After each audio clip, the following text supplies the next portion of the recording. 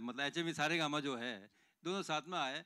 I am thankful to both of them T series ने भी हमको बहुत ज़्यादा अच्छा गाने वाने दिए and very good songs are collaborative effort तो ज़रूरी होता है फ़िल्मों में। Before I come to the leading pair Lalit ji ये नाम आई I मीन mean, गाना लेना तो अलग बात है। But why you suddenly decide कि चलो भाई फ़िल्म का नाम ही ये बना देते हैं?